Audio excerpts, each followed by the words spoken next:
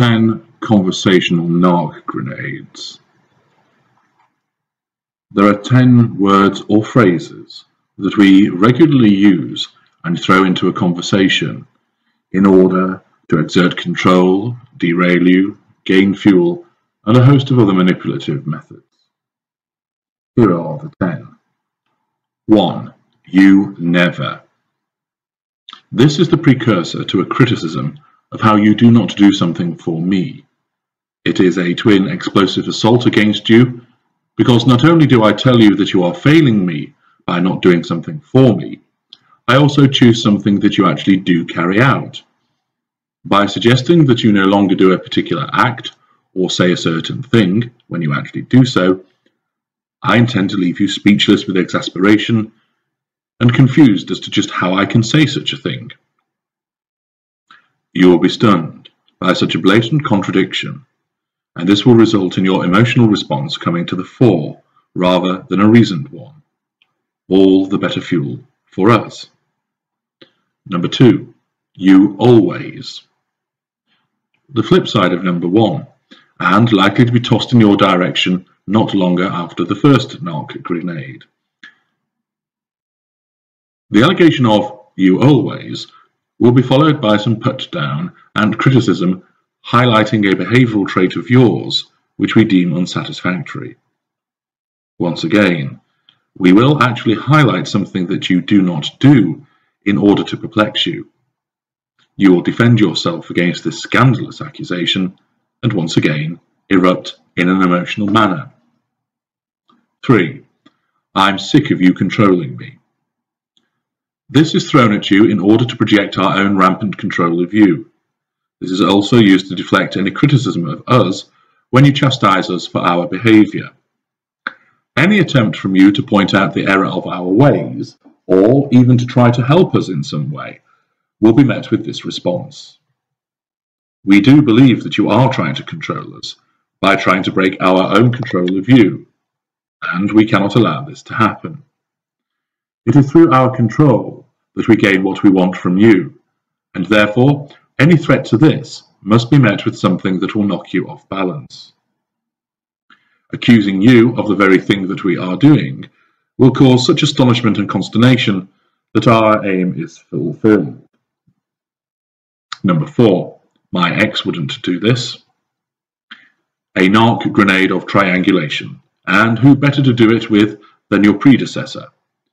By implying that your predecessor has some form of superiority to you, after all the smearing of her name we did when we first ensnared you, not only will you be taken aback by this sudden volte-face, you will also be mightily offended at being compared to someone who we apparently hated so much.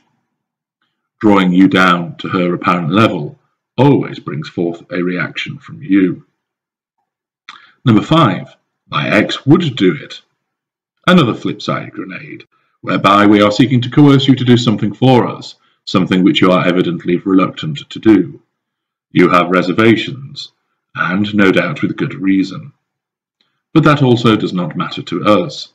You are our extension, and therefore you ought to be complying with our wishes without hesitation or refusal. By triangulating you again with she who went before you, we are threatening you that you are inferior to her, and raising the prospect that you will soon be dispensed with if you do not do what we want. Number six, I love you, but I don't like you right now. This carefully crafted narc grenade will shatter you as it appears as a compliment before ripping your heart out as you struggle to comprehend what we have just said. Surely, if we love you, then we must also like you. What do we mean when we say this? It creates confusion, and will have you trying to persuade us to both love and like you. What we mean when we lob this grenade towards you is, you say you love me, but you will not do what I want. 7. If you loved me.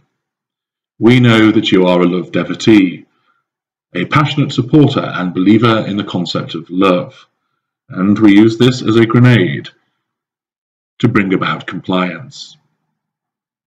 We know that you take pride in your integrity and decency, and therefore you have standards to always uphold. By suggesting that your failure to act in the manner we want, or that your disagreeing with us is somehow representative of you loving us less, we are challenging what you stand for. This will always force you to react by stating your case, reacting in an emotional fashion, and ultimately doing what we want in order to prove that you do indeed love us. 8. You are overreacting. A favourite to make you react even more. You take matters seriously, and there are many things that we shall do which will cause you to respond in a serious and concerned fashion. By using this grenade, we belittle you and cause the issue to be about your reaction rather than what we have actually done. It acts as a brilliant way to deflect discussion and dissection of our behaviour, and instead causes you to try to prove that you are not overreacting, which will invariably actually heighten your response. 9. I can't deal with this right now. Our grenade that is thrown in order to provide us with an escape route from any crisis or situation that requires us to be either accountable or supportive. We do neither, and we want to keep it this way. We will invent some other reason which means that we have to depart, or that you have to deal with this situation as we hurl the grenade, leaving you to catch it and deal with the subsequent explosion as we walk away, free from involvement, responsibility, and culpability. 10. I don't remember. The blast from this grenade is used to eradicate the problem that you are facing us with.